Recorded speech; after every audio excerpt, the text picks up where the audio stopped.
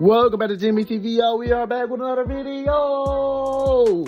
Man, we are back with another one, man. And hey, man, say, man, bro, like the whole entire Buffalo Bills football team that all came together and got and got pins made with the number three on it for Damar Hamlin, y'all.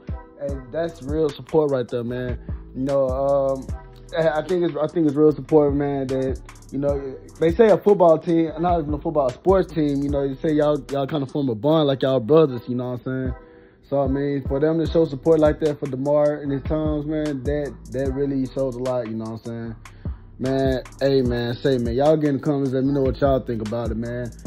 Hey, don't forget we're on that 1K grind, y'all. So like, comment, subscribe, share this out to your people, man. Share this out to your football teammates too, man. You know what I'm saying? We're on that 1K grind.